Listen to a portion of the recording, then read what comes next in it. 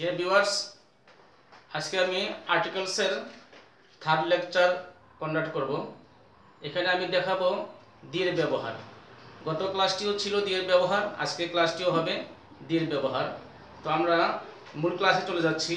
যেমন এখানে দেখা যাচ্ছে কম্পারেটিভ ডিগ্রি কম্পারেটিভ ডিগ্রি তো আজকের আলোচনাটা হবে ডিগ্রি নিয়ে। এখন ডিগ্রি আমাকে চিনতে হবে। ডিগ্রি কাকে বলে? যে কোনো ব্যক্তি এবং বস্তুর দোষ গুণের যে তুলনা, সেটাকে বলা হয় ডিগ্রি। ডিগ্রিকে কম্পারিজন অফ অ্যাডজেক্টিভও বলা হয়। তো এখানে আমরা জানি যে আমাদের এই ডিগ্রি ডিগ্রি, তিন ধরনের ডিগ্রি আমরা জানি।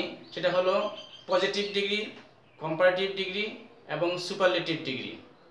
পজিটিভ ডিগ্রি হলো যে অ্যাজেটিভ দ্বারা একজন ব্যক্তি এবং বস্তুর দোষগুণকে বোঝায়। তাকে পজিটিভ ডিগ্রি বলে। আর কম্পারেটিভ ডিগ্রি হলো যে ডিগ্রি দ্বারা দুইজন ব্যক্তি বা বস্তুর দোষ গুণের তুলনাকে বোঝায়। তাকে কম্পারেটিভ ডিগ্রি বলে। আর সুপারলেটিভ ডিগ্রি হলো যে অ্যাডজেক্টিভ দ্বারা কোনো ব্যক্তি বা বস্তুর দুইয়ের অধিক, দুইয়ের বেশি ব্যক্তি বা বস্তুর দোষ গুণের তুলনাকে বোঝাবে, তাকে সুপারলেটিভ ডিগ্রি বলে। তো আজকে আমাদের আলোচনার বিষয় হলো কম্পারেটিভ ডিগ্রি পূর্বে কি বসবে এবং সুপারলেটিভ ডিগ্রি পূর্বে কি বসবে? এখানে আমরা দেখতে পাচ্ছি কম্পারেটিভ ডিগ্রি এখানে হলো মোর এবং ইয়ার। সহজভাবে চেনার জন্য কম্পারেটিভ ডিগ্রি সহজভাবে চেনার পদ্ধতি হলো মোর থাকবে অথবা অ্যাডজেটিভের শেষে ইয়ার থাকবে। নাউনের শেষে নয়। অ্যাডজেটিভের শেষে যদি ইয়ার থাকে আর যদি শুরুতে মোর থাকে, মোর থাকবে এবং অ্যাডজেটিভের শেষে ইয়ার থাকবে, তাহলে আমরা ধরে নিব, এইটি হলো কম্পারেটিভ ডিগ্রি যেমন এখানে দেখা যাচ্ছে more you read more you learn তাহলে এখানে মোর আছে, এখানে মোর আছে। তাহলে আমরা বুঝতে পারলাম যে এই বাক্যটি হলো দুটি বাক্য হলো কম্পারেটিভ ডিগ্রিতে আছে। তাহলে এই কম্পারেটিভ ডিগ্রি থাকলে আমরা সেখানে দা বসাবো, দা মোর এখানেও দা। উচ্চারণটা দা হবে, এখানে দি হবে না, যেহেতু বাউল সাউন্ড আসতেছে না। ঠিক the more you read the more you learn যতই পড়িবে, ততই শিখিবে। নেক্সট নেক্সট বাক্যটি more a man gets more a man wants মানুষ যত পায়, তত চায়। এখানে এই বাক্যটি যে এগুলা কম্পারেটিভ ডিগ্রিতে আছে। এই দুটি বাক্যই কম্পারেটিভ ডিগ্রিতে আছে, আমরা বুঝতে পারলাম। কারণ এখানে মোর আছে মোর মোর থাকার কারণে এই দুটি বাক্যেই আমরা দেখতে পারলাম যে কম্পারেটিভ ডিগ্রিতে আছে। সেজন্য যে কোনো কম্পারেটিভ ডিগ্রি পূর্বে দি বসে।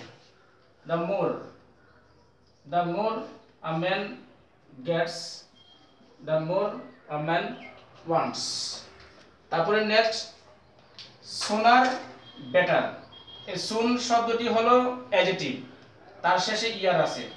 আর বেটার আসছে গুড থেকে। গুড বেটার বেস্ট গুড অ্যাডজেটিভটি হলো পজিটিভ ডিগ্রিতে আছে, আর বেটার দুইয়ের মধ্যে ভালো, এটা কম্পারেটিভ ডিগ্রিতে আছে, আর বেস্ট বেস্ট সুপারলেটিভ ডিগ্রি এখানে গুড গুড থেকে বেটার আর এখানে হলো বেস্ট গুড থেকে বেটার এবং বেস্ট এসেছে, তাহলে এখানে আমরা যেহেতু কম্পারেটিভ ডিগ্রি মোর অথবা ইয়ার থাকবে, ইয়ার তো অবশ্যই অ্যাডজেটিভের এখানে অ্যাডজেটিভের শেষে ইয়ার আছে, এখানে ইয়ার আছে। তাহলে এই দুটি শব্দ হলো কম্পারেটিভ ডিগ্রিতে আছে। সেজন্য যে কোনো কম্পারেটিভ ডিগ্রি পূর্বে দি বসে। তো আমরা বসাইলাম দ্য সোনার দ্য বেটার যত শীঘ্র ততই ভালো। ঠিক লার্জার লার্জ শব্দটি অ্যাডজেটিভ ইয়ার আছে। আর্লি শব্দটি অ্যাডজেটিভ ইয়ার আছে। তো এখানে আমরা দ্য লার্জার দি বসাবো। এখানে হবে দি। এটা হবে দা, এটা হবে দি আর্লিয়ার আর্লিয়ার উচ্চারণ করলে এখানে ভাওয়েল সাউন্ড আসতেছে। এই জন্য এটা হবে দি আর্লিয়ার আর এটা হবে দা লার্জার কিন্তু এখানে আমরা দেখতে পাচ্ছি ব্রাদার ব্রাদার শব্দটির শেষেও ইয়ার আছে। ডিয়ার ভিউয়ার্স এখানে ব্রাদার ব্রাদারের শব্দের শেষে ইয়ার আছে। আমরা ব্রাদারের শব্দের শেষে ইয়ার দেখতে পাচ্ছি, কিন্তু নিয়মটা ছিল ইয়ার থাকতে হবে অ্যাডজেটিভের শেষে, নাউনের শেষে নয়।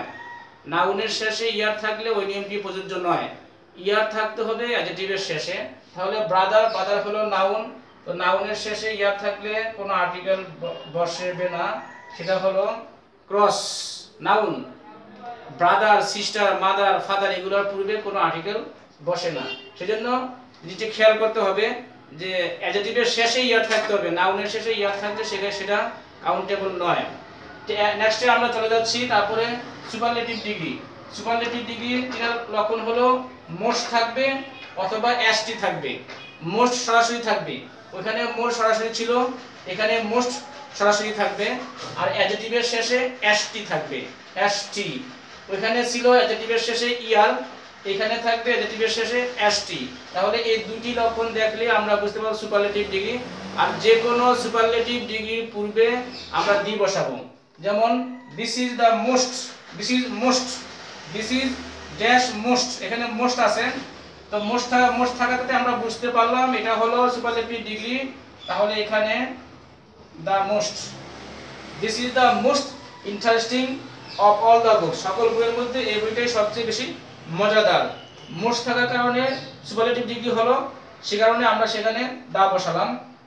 তারপরে is dash widest wise wide শব্দটি হলো ওয়াইড শব্দটি হলো অ্যাডজেটিভ গানি আর এ আর শেষে আছে এসটি তাহলে যে কোনো অ্যাডজেটিভের শেষে এসটি থাকলে সেই, সে, সেটি হবে সেটি হবে সুপারলেটিভ ডিগ্রি এই জন্য আমরা এখানে দা বসাবো। She is whitest she is the whitest girl in the class এই ক্লাসে সবচেয়ে বেশি জ্ঞানী যে মেয়েটি, এটা হলো শি সে।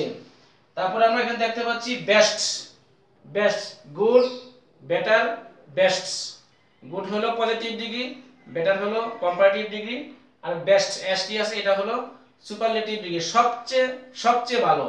এজন্য এখানে হবে দা দা বেস্ট আর পেটি পেটিয়েস্ট পেটি হলো সুন্দর। এই পেটি অ্যাডজেটিভ এর, এরপরে বসেছে এসটি তাহলে এখানে হবে এটা হলো সুপারলেটিভ ডিগ্রি পেটিয়েস্ট দা পেটিয়েস্ট কিন্তু লাস্ট যেই শব্দটি, এটা হলো ক্রেস্ট এখানেও এসটি আছে। এটা, এই শব্দটি আমি এখানে দেওয়ার কারণ হলো যে সকল শব্দের শেষে এসটি থাকলে সেটা সুপারলেটিভ ডিগ্রি হবে না। এখানে ক্র্যাশ শব্দটি নাউন ক্র্যাশ শব্দটি হলো নাউন এই জন্য এটা অ্যাডজেটিভ নয়। ক্র্যাশ শব্দটি অ্যাডজেটিভ নয়। ক্র্যাশ শব্দটি হলো নাউন সেজন্য এখানে এ বসবে। ক্র্যাশড ক্র্যাশ উচ্চারণ করলে ক আসে ব্যঞ্জন বর্ণ ওই যে আমার আর্টিকেলের যেই ফার্স্ট লেকচার ফার্স্ট লেকচারে এ ব্যাপারে বিস্তারিত আলোচনা হয়েছিল। যারা ওই লেকচারটি পাননি অবশ্যই দেখে নেবেন। তো সেজন্য এখানে নাউন হওয়ার কারণে এখানে দি বসেনি। এখানে বসেছে এ। আর অ্যাডজেটিভের শেষে এসটি থাকলে সেখানে আমরা দি বসাবো। ডিয়ার ভিউয়ার্স যারা আমার এই চ্যানেলে আজকে নতুন এসেছেন, অবশ্যই সাবস্ক্রাইব করে নেবেন। আপনারা সবাই সাবস্ক্রাইব করবেন লাইক করবেন শেয়ার করবেন কমেন্ট দিবেন। এবং বেশি থেকে বেশি শেয়ার করতে থাকবেন। সেই কামনা রেখে আমি আমার লেকচারকে আজকে এখানেই সমাপ্তি ঘোষণা করছি। আসসালামু আলাইকুম ওরহমতুল্লাহি ওয়া বারাকাতুহু।